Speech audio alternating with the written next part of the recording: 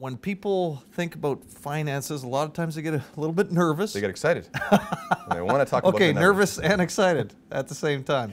But it's a topic that uh, sometimes doesn't get talked about enough. But money is really the fuel. It's everything, right? It's so important. And and you're right. A lot of times, not always, not always, but uh, but a lot of times, business owners, entrepreneurs, they really they love the marketing stuff. They love the sales stuff. They love the operational stuff. They get their head into that.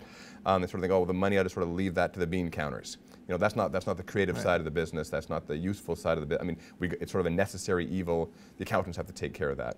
And I guess what we would like to, the myth we'd like to dispel, you know, with these uh, episodes here on money is that it's actually really important. You know, it's your money, and the goal of your business is, to, in fact, you know, amongst other things, is in fact to make more money. Right. And so there's real value in those numbers. They're, they're not just they're not just something for the accountant or something for the banker or something for the for the tax agency, but there's something for you to be able to make useful decisions with. So, talk to us a little bit about uh, you know the financial components. What are what, are the main things that we should be uh, focused in on? What are some of the big pieces that we should be paying attention to? Well, you can think about three financial activities in a way that have to happen in a business. And one of them is bookkeeping. And so bookkeeping is really just about the collection and data entry and organizing of the, the numbers, the financial numbers in a business. You know, and then there's accounting, and the accounting is the is taking a look at the actual financial statements that come out of the bookkeeping process.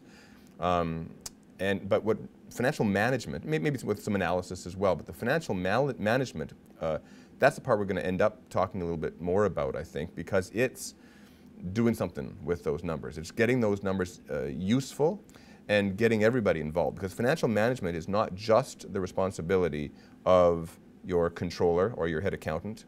It's not just the responsibility of a business owner or even senior management. Financial management ultimately should be part of everybody's job in some way because we are all accountable. You know, I mean, the business. Uh, you know, I've talked about the idea before of looking at a business through different colored lenses. You know, and if we put on our financial lenses, we lens, we can see that everybody touches finance in some way. Everybody has the ability to save the company money or drive improve margins to increase sales. Everybody touches money in some way. You know,